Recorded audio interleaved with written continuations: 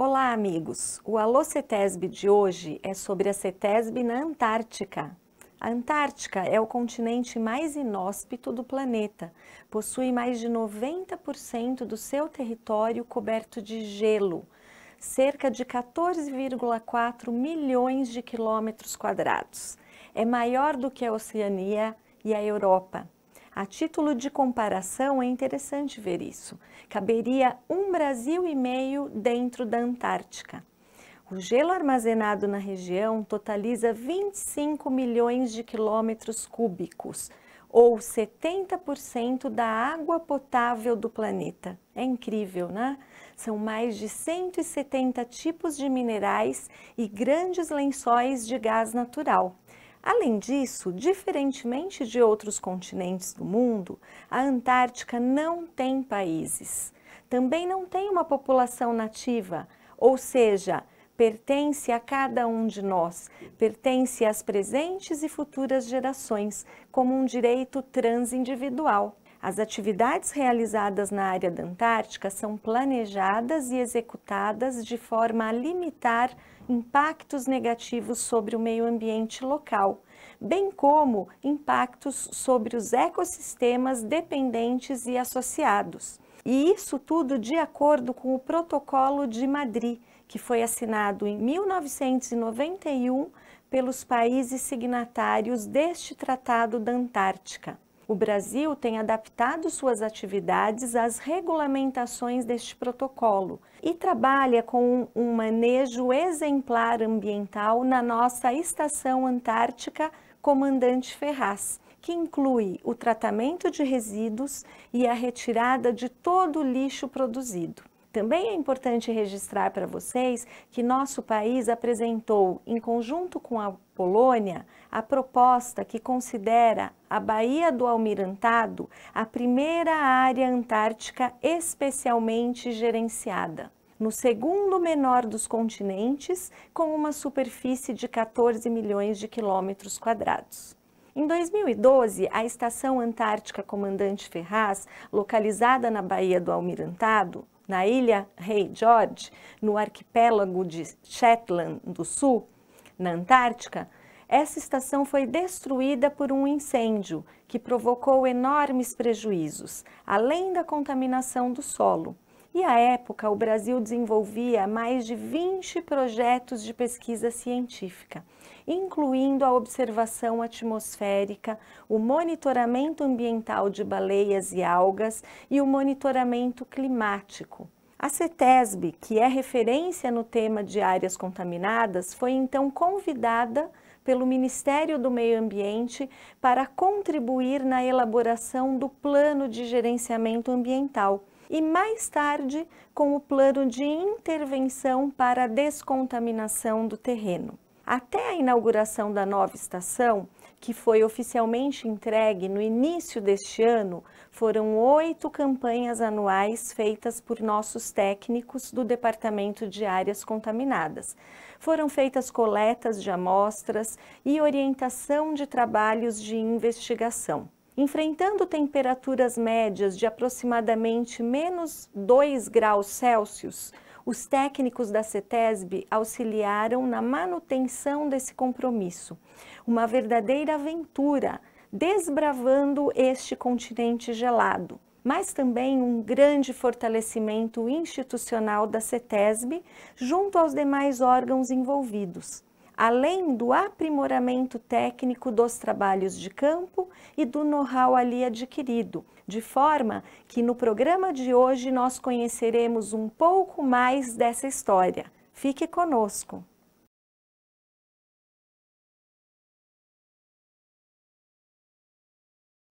Olá, estamos de volta com o Alô CETESB e no nosso programa de hoje abordando um tema interessantíssimo, questões ligadas à Antártica e ao monitoramento da contaminação de solo decorrente de um incêndio ocorrido lá. É, Para falar desse tema palpitante, nós convidamos o Gessé Soares Alves, né? Gessé que é técnico do setor de avaliação e auditoria de áreas contaminadas da CETESB, é, faz parte da diretoria de impacto ambiental. Gessé integrou a equipe da CETESB na Antártica, participou também de outros projetos relevantes, como o projeto Reflorestamento da Serra do Mar e Manguezais, de 1988 a 1994, do projeto Pomar, de 1998 a 2002, do projeto Tietê, de 2004 a 2008, e depois do projeto Antártica, de 2012 a 2020.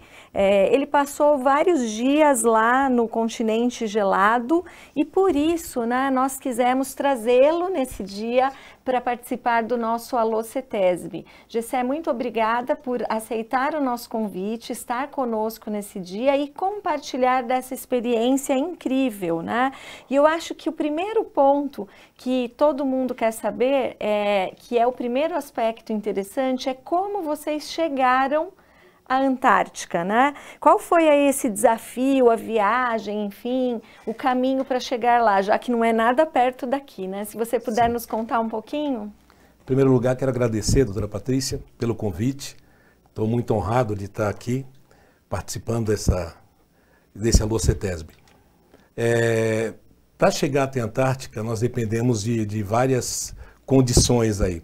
Nós temos um contato direto com o pessoal da Marinha, do Ministério do Meio Ambiente, para que a gente possa integrar a equipe e ser conduzida através do pessoal da Força Aérea Brasileira, né, que normalmente a gente utiliza a aeronave Hércules, que normalmente decola do Rio de Janeiro.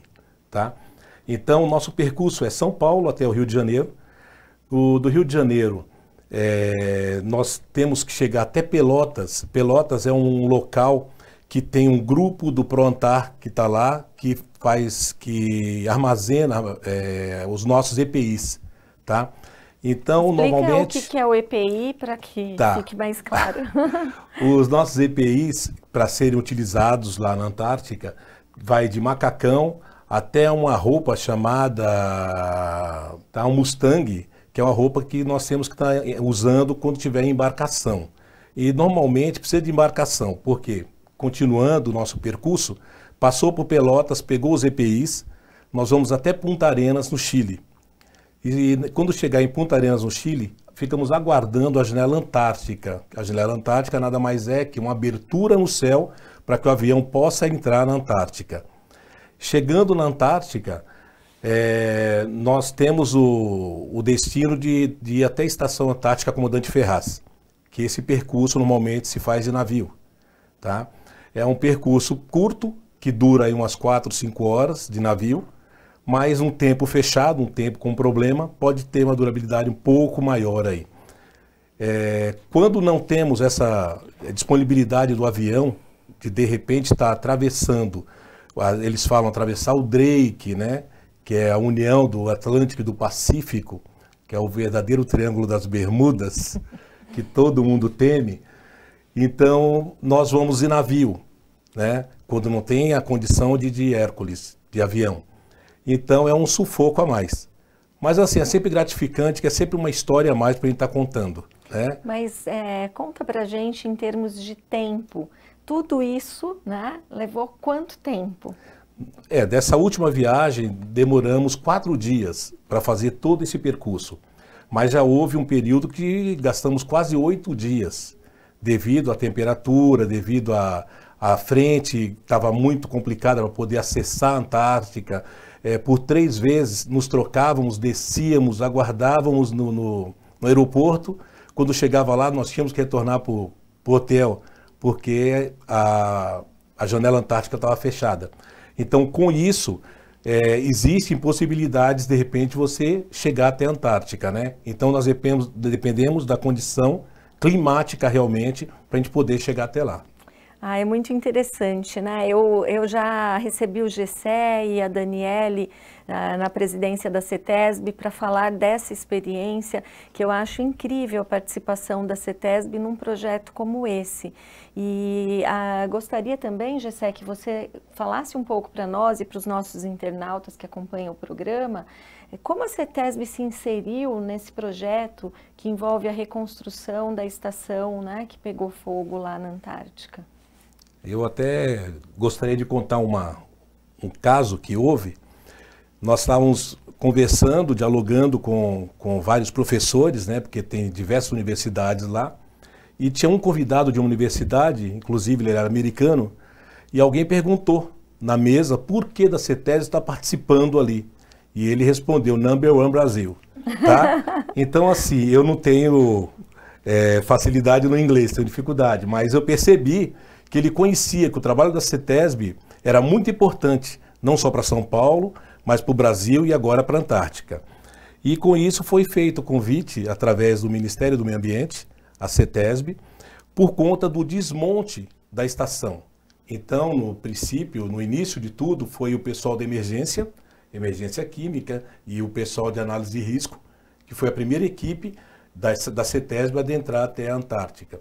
Depois foi o grupo, foi o Elton e o Paulo Henrique, né, colegas do Departamento de Áreas Contaminadas, que foi fazer a primeira investigação preliminar. Nessa investigação preliminar, eles levaram diversos equipamentos para tentar fazer um, um trabalho de investigação, só que algumas coisas não deram certo. Mas antes disso, eu queria saber assim, como que se dá esse processo de investigação de área contaminada, né?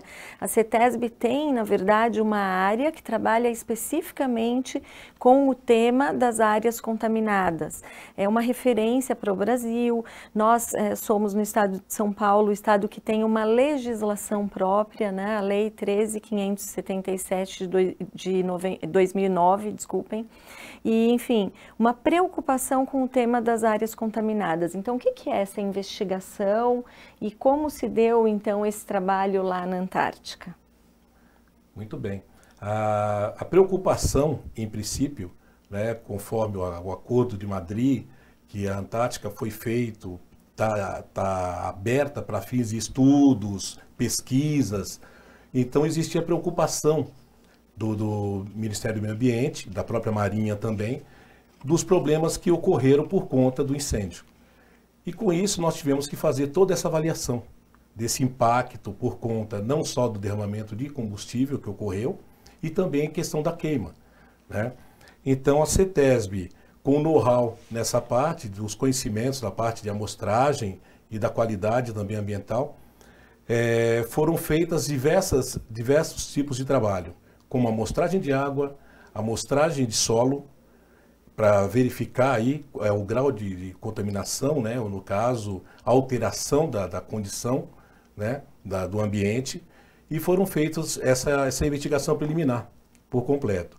É, deu, deu, no início, nós tivemos um problema né, por conta do desmonte da estação, porque você não conseguia fazer uma investigação total, porque de repente naquele ponto tinha equipamentos, tinha maquinários. Então, assim, ao longo do tempo, nós podemos fazer uma investigação X naquele ponto, X naquele outro, porque é o que dava para ser feito naquele período que nós estávamos lá. Foram quantos dias mesmo?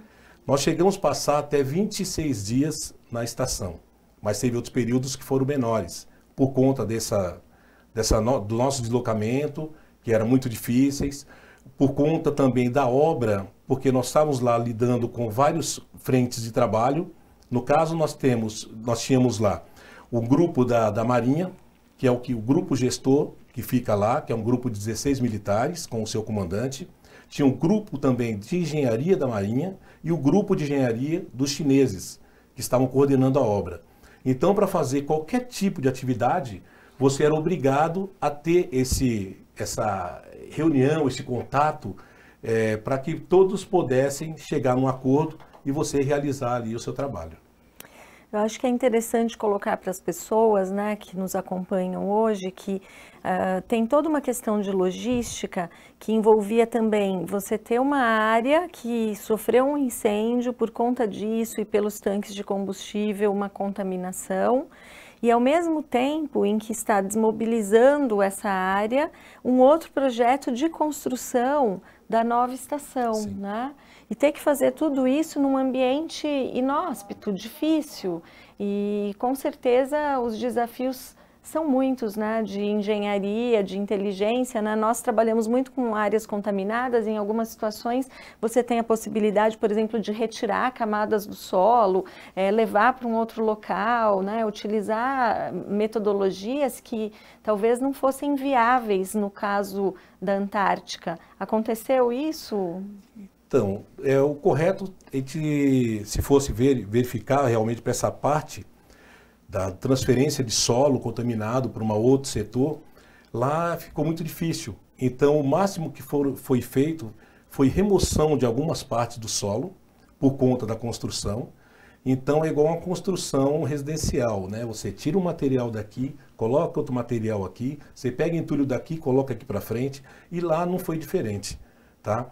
Inclusive, tem alguns pontos que nós não conseguimos investigar ainda, é, inclusive a, o parque de tanques né? que no período dos anos 80 houve um vazamento grande, então essa área é uma área futura, que de futuro detalhamento que nós vamos ter que fazer, uma investigação detalhada, conversando com o Ministério do Meio Ambiente, universidades, para ver o, qual será o futuro daquilo ali. Tá? Porque é uma área que houve um problema e nós não tivemos acesso ainda a ela. Tá certo. E uma coisa que eu acho que é interessante saber é se que tipo de monitoramento foi feito, né? Se foi possível analisar, na verdade, qualidade da água, qualidade do meio ambiente mesmo, em função desse evento, né? Como ficou essa parte no trabalho?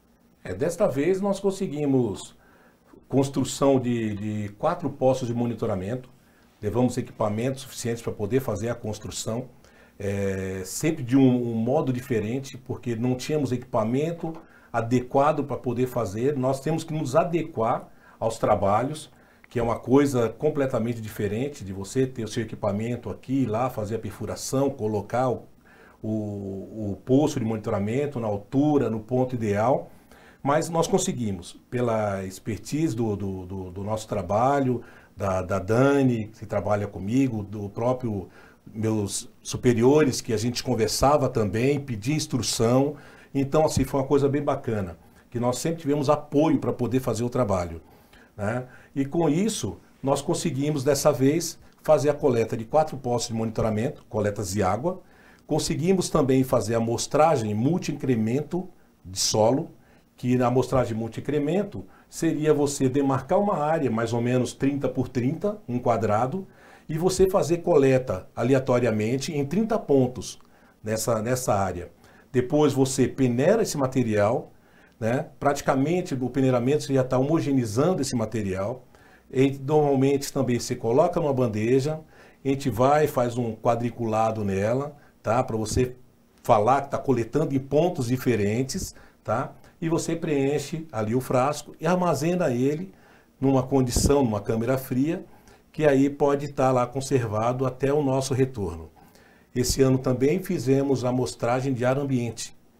É, o ar ambiente, nós fizemos essa amostragem por conta do, do, bloco técnico. O bloco técnico é a única estrutura que foi construída a nível do, do solo, porque o restante da estrutura da, da estação ela é elevada. É Sim. É uma, uma estrutura bacana, elevação de mais de 3 metros de altura. Tá? Então foi feito essa amostragem de ar é, em três pontos é, escolhidos lá e para ver se detectava alguma coisa referente à questão de combustível. Né? As amostras foram analisadas, o retorno para a gente foi até é, bacana, porque deu alguns derivados assim de, de material, tipo adesivos, né? de, de cola, então não teve tanto problema. Tá? Então, para a questão da população que estar trabalhando lá dentro, nós ficamos muito mais tranquilos.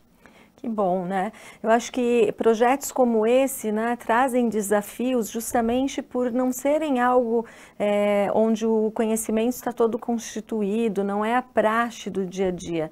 Mas o importante é que na CETESB nós temos é, técnicos com uma formação que permite avançar, inclusive para esses projetos desafiadores, né?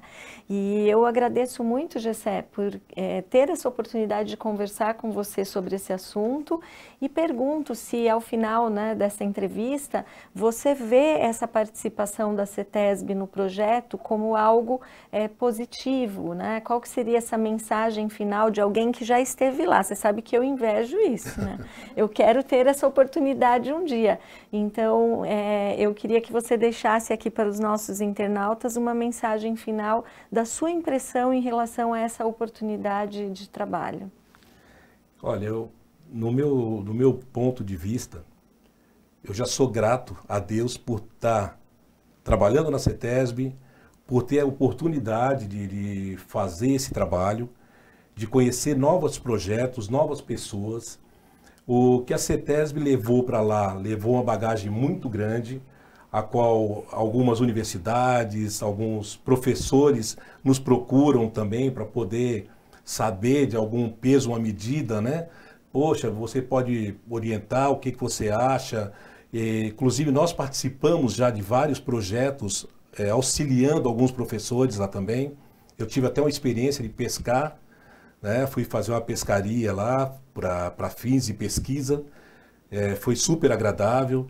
Né? Coletei sedimento junto ao pessoal do Instituto de Oceanografia da USP, que também tem um carinho muito grande para a professora Rosalinda.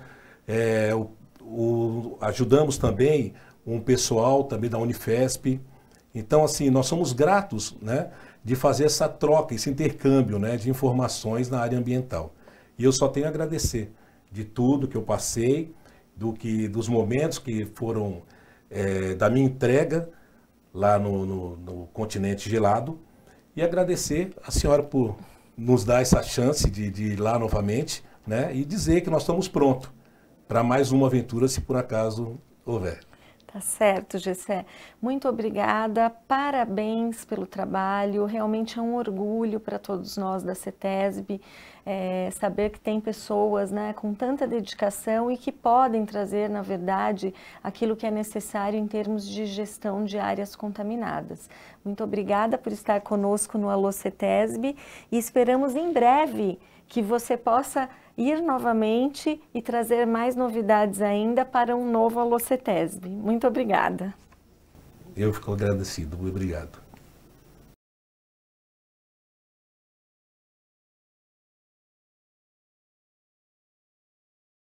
Estamos de volta com a Alocetesb e hoje tratando de um tema muito interessante. Estamos tratando do trabalho da CETESB na Antártica e a oportunidade que nós tivemos de participar do projeto que envolveu o monitoramento da área contaminada decorrente do incêndio da Estação Brasileira de Pesquisa. É, Para falar desse tema, eu recebo hoje a Daniele da Silva Martins, a Daniele que é técnica no nosso departamento de áreas contaminadas e tem formação em engenharia química na Universidade Federal do Rio Grande do Sul, tem mestrado em engenharia hidráulica pela Escola Politécnica da Universidade de São Paulo e tem larga experiência no tema de áreas contaminadas.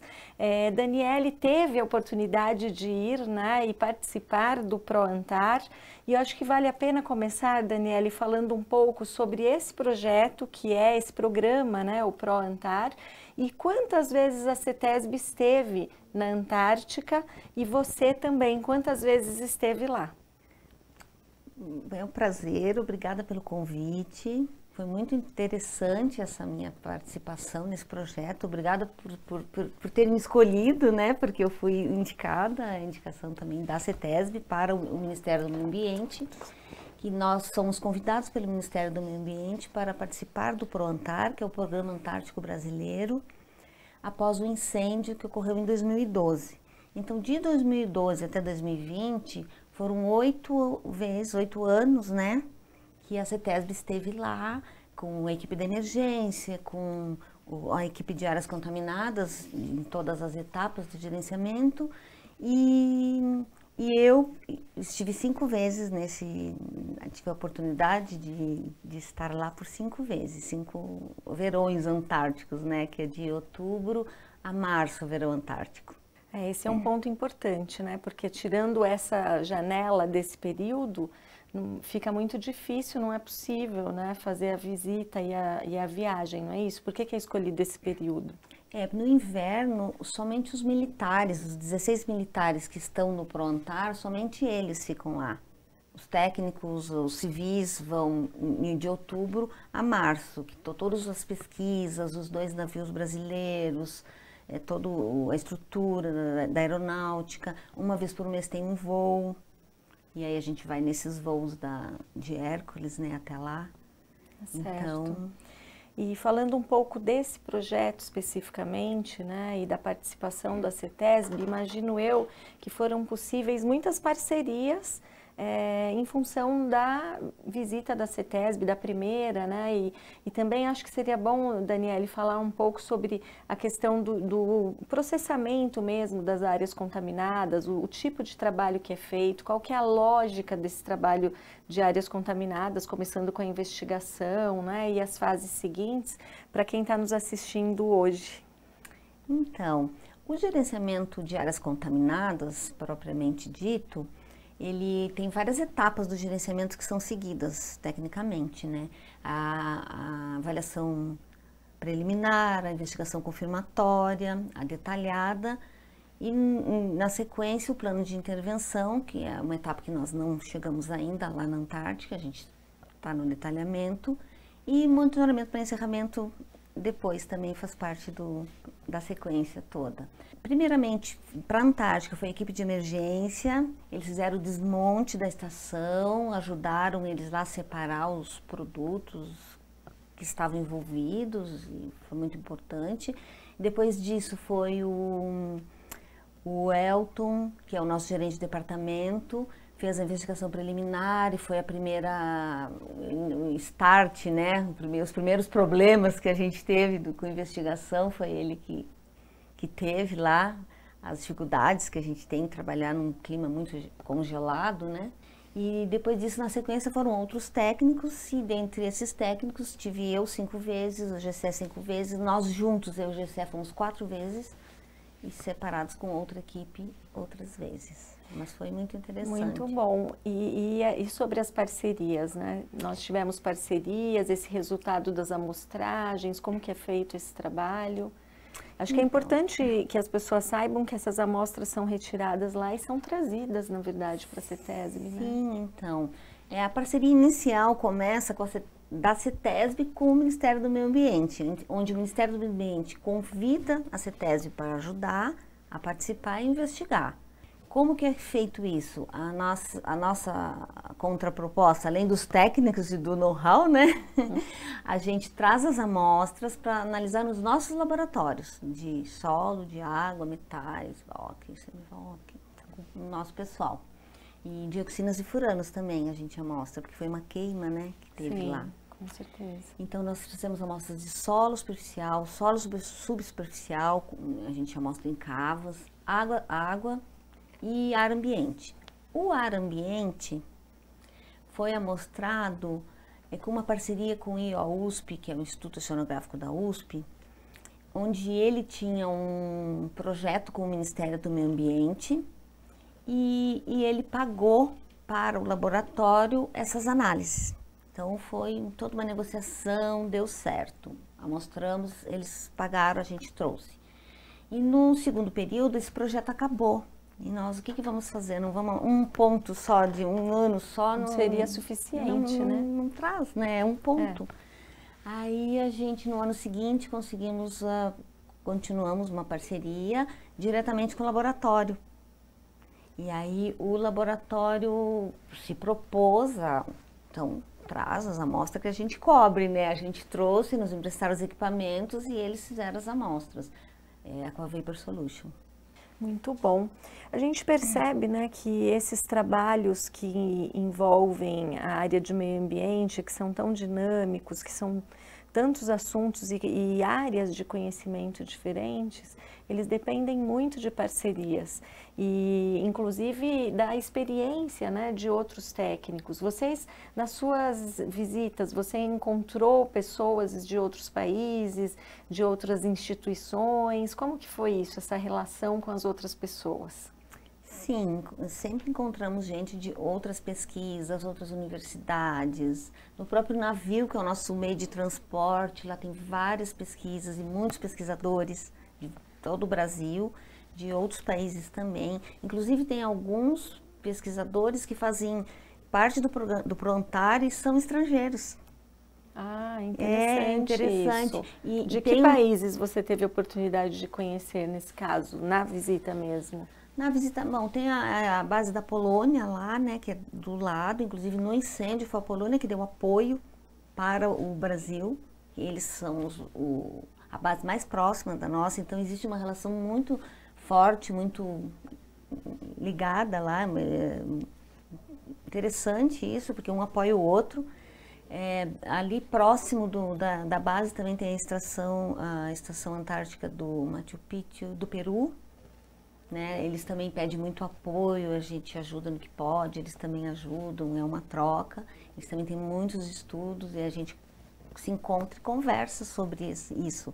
E, e com os técnicos brasileiros também, os professores que vão, todo tipo de pesquisa, de algas, de ouriços, de baleia. Nossa, a gente vê de Fantástico, tudo lá. É né? muito interessante. uma oportunidade incrível, uma oportunidade fantástica. Ah, desculpa. É, eles têm muita curiosidade com relação à investigação. Aí eles perguntam para a gente também, nossa, áreas contaminadas, como é que é? E sempre existe essa, essa troca. Muito bom. Interessante. Bem, nós sabemos que já temos hoje novas instalações, né? uma nova estação, um projeto é, bastante interessante, moderno, e seria bom contar para quem nos assiste hoje um pouquinho sobre essa nova estação, você que já esteve lá, né?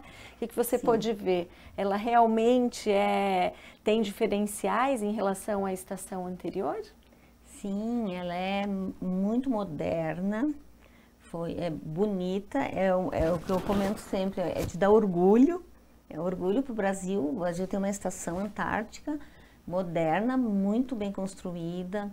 Ah, os outros países vão lá conhecer, inclusive param navios na Baía do Almirantado para olhar, porque eles, se eles não têm autorização para entrar, eles olham, tiram fotos. É muito interessante. E a, a estação foi construída pela China, né, que foi quem ganhou a concorrência o projeto parece que é do Paraná, alguma coisa assim, e quem é, coordenou esses trabalhos foi a Marinha do Brasil, os engenheiros da Marinha, e, e na logística toda tem a Marinha, o, o Prontar reúne toda essa, essa equipe né, da Marinha, do, do Exército, sempre tem alguém também, da Aeronáutica fazendo os voos e abastecendo a estação, tem tudo, tudo isso, tanto é, com eu... gêneros quanto com combustível. Sim, eu acho muito interessante o fato de nós pensarmos em algo que traz muito orgulho para nós brasileiros, né? Nós temos uma tendência sempre de imaginar que aquilo que é feito nos outros países é melhor, enfim, tem mais tecnologia, os países de primeiro mundo, quando essa estação é um orgulho para todos nós brasileiros e a CETESB fica muito feliz em poder participar desse projeto, poder levar os seus conhecimentos em áreas contaminadas para uma contribuição que diz respeito ao nosso país, enfim, é realmente muito bom. E eu sei que você esteve lá cinco vezes, então a minha pergunta é, é uma pergunta até interessante também do dia a dia: como enfrentar o frio de um local como aquele?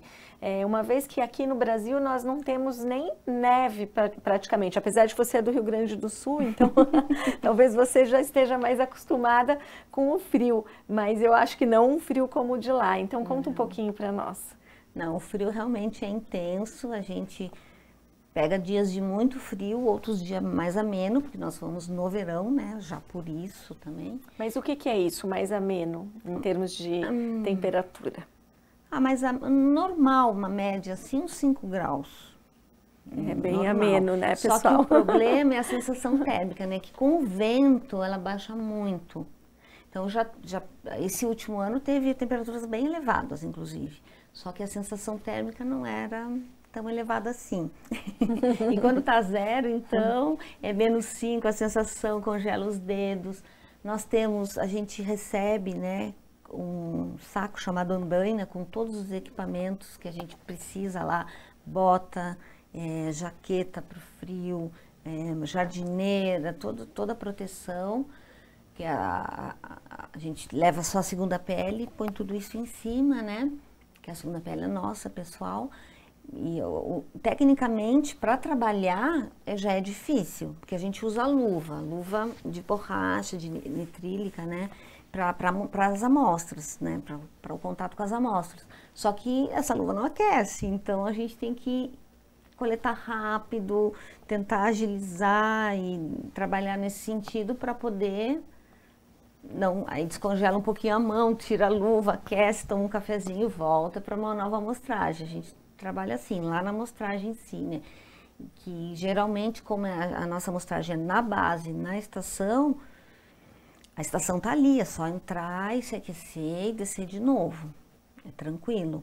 É, com relação a, a, essas roupas, elas são ótimas, são de qualidade, a gente aguenta tranquilamente o frio com elas. Ah, é fundamental, é né? Fundamental. Ter essas roupas. Mas eu acredito que por ser uma rotina muito diferente, é, distante da família, distante daquilo que nós estamos acostumados a, a, fazer aqui numa cidade como São Paulo, no nosso caso, né? É, deve haver algum tipo de desafio. Sim. E como você fazia para passar os dias, tornar esses dias melhores, né? Sim. Eu, eu, nós já conversamos na CETESB e em algumas oportunidades vocês tiveram que ficar dias sem poder fazer o trabalho, aguardando a questão da melhora do tempo. Então, como lidar com esse tipo de experiência? É, a gente sentar, conversar, é, interagir com as pessoas, conhecer, às vezes até os o, dia a dia de, de, outras pessoas, né? Que há muitos trabalho interno lá também, aí dá pra gente saber o que, que é, né? Trabalhar lá. A gente hum, tem orientação, lá tem médicos, eh, enfermeiros, então, por exemplo, vamos, vamos sair pro frio, a primeira coisa, eles orientam, ó, sempre de óculos, protetor solar, queima muito, por causa da, do reflexo da neve, né? É muito, muito... É, isso, não, não estamos acostumados com isso. É, a, as conversas, os cafés, o almoço junto é muito importante, que toda a equipe almoça junto, o almoço é do meio-dia a uma, das onze a uma, ao meio-dia, é uma hora de almoço ali, então todo mundo almoça junto, então a gente troca, conversa, senta, combina um chocolate no final do dia que vai estar tá frio. Consegue saber o que os outros estão fazendo, imagino eu, Sim. né? Que pesquisas estão sendo desenvolvidas também. Outros trabalhos, até mesmo do pessoal da Marinha, que tem trabalhos que eles desenvolvem lá, de limpar neve, ou com os botes. Nossa, às vezes acontece cada coisa que tu nem imagina, né? Fala, ah, não, a gente está consertando o bote aqui, sabe? Não é do nosso dia a dia. Não, Então a gente conversa isso também com eles. Muito bom. E pensando um pouco na questão do, da parte técnica, é, dessa experiência, dessas oportunidades, né, foi possível trazer também lições do ponto de vista técnico e que pudessem ser compartilhadas na CETESB com os demais colegas que fazem parte da, da equipe né, de áreas contaminadas? Como você vê esse lado também? Com certeza. É, simplesmente a diferença entre amostrar lá e aqui é muito grande. Os equipamentos muitos não funcionam com o gelo, é, é difícil de fazer uma sondagem, de, não tem como, nem equipamento está congelado, é duro. Um, um dia aconteceu de quebrar o hidráulico da máquina numa escavação de tão duro, tão congelado e o material também é de ferro. E, e... aí como vocês fazem numa situação como essa? Uma ah. vez que não dá para ir comprar na lojinha. Não, não dá. Não, a, lá tem mecânicos, né? Eles consertaram, uhum. eles, é, a própria Maria tem toda uma estrutura, eles é, consertaram. Era máquina, uma escavadeira, né? Eles tinham outras também, então aí vai não tem o que fazer, vai se adaptando com o que tem. É, outras coisas assim, amostrar com neve, a gente já mostrou com neve, mas era por que, que a gente teve que amostrar naquele momento? Porque o, foi quando a gente estava com as cavas abertas da nova, da nova estação, então tinha que ser naquele momento. É, duas, três horas depois eles já iam fechar. Então não tem o que fazer, tem que ir lá e mostrar. Então aí vai, troca de luva, aquece, toma um café, volta para lá e continua. Mas tudo com, com, com controle, né? Lógico, a gente não Sim. É, eu acho que pelo que você conta aqui, nós percebemos que um profissional para atuar nessa área e para atuar na CETESB, né, ele precisa ter assim um perfil dinâmico, é, uma persistência e enfrentamento mesmo de dificuldades.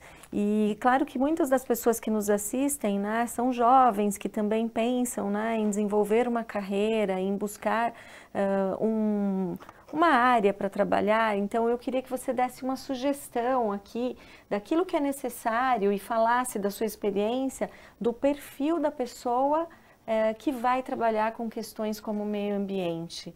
Como que você vê isso? O que é esse perfil esperado? O que, o que é mais importante para esse profissional? Então, com relação ao, ao, meio ambiente em si, aqui no Brasil, vamos dizer assim, né?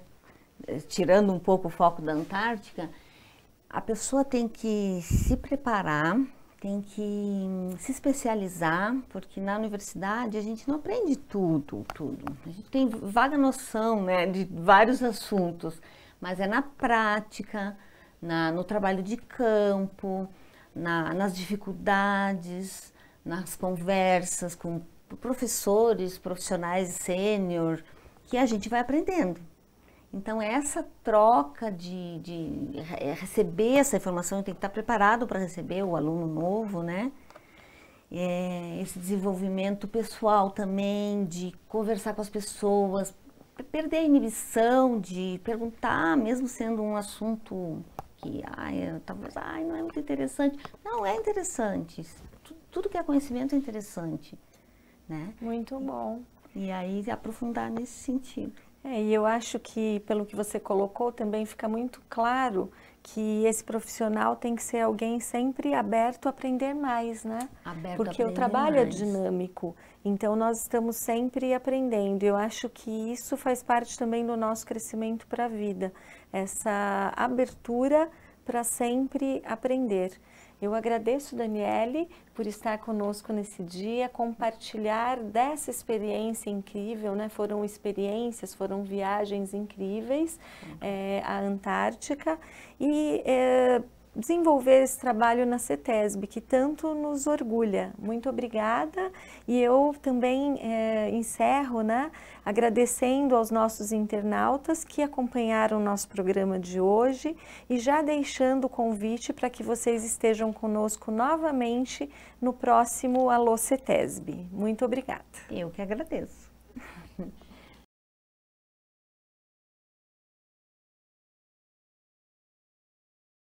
Pesquisadores estrangeiros afirmaram em estudo que é necessário reforçar a gestão ambiental na Antártica, segundo investigação científica publicada na revista Science. É necessário uma proteção maior para combater ameaças como o degelo, o aumento do turismo, a pesca, a poluição e a invasão de espécies rasteiras, além de uma potencial exploração de petróleo e gás natural nas áreas ao redor. O estudo, que teve a participação da Universidade do Texas AM dos Estados Unidos afirma ainda que o sistema do Tratado da Antártica, um conjunto de acordos internacionais para a proteção do continente que reúne 50 países, está sob pressão por conta da mudança do clima e dos interesses de governos nos recursos naturais. Segundo os cientistas, a Antártica, que possui 90% da água doce do mundo em estado sólido, é um dos lugares fundamentais para a pesquisa, que ajudarão a compreender como o ser humano pode vencer os desafios existentes hoje no planeta Terra. De acordo com Chuck Kennicott, o oceanógrafo que liderou a pesquisa e preside o Comitê Científico sobre Pesquisa Antártica, o Polo Sul serve como um termostato para o planeta. Ele é sensível e, assim como o Polo Norte, no que diz respeito às oscilações de temperatura, respondendo rapidamente a qualquer alteração no clima. Precisamos proteger a Antártica, afinal, ela é o último grande lugar desértico do planeta e a equipe técnica da CETESB continuará contribuindo com o programa de pesquisas para a preservação da Antártica. Espero você no próximo Alô CETESB. Até lá!